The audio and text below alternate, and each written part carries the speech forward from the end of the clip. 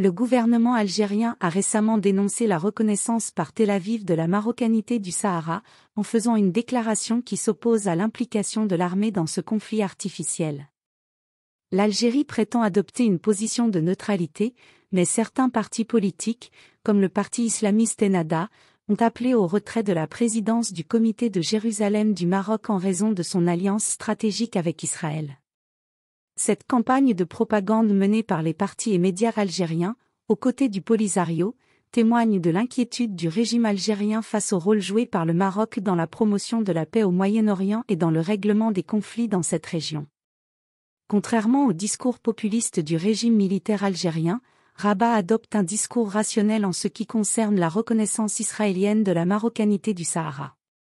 Le régime algérien utilise la cause palestinienne pour se légitimer politiquement, en exploitant cette question pour des agendas internes.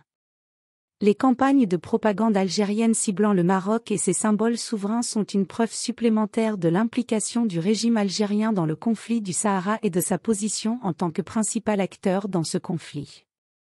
Les positions de l'Algérie concernant la question palestinienne sont contradictoires et confuses.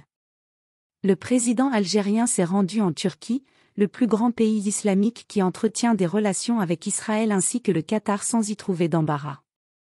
Les positions de l'Algérie ne sont pas liées à l'arabisme ou au souci de la position arabe unifiée envers la cause palestinienne, mais plutôt à son opposition aux succès obtenus par le Maroc sur le plan politique, économique et militaire, surtout après l'échec de l'Algérie à obtenir le soutien de la Chine et de la Turquie pour sa thèse concernant la question du Sahara marocain.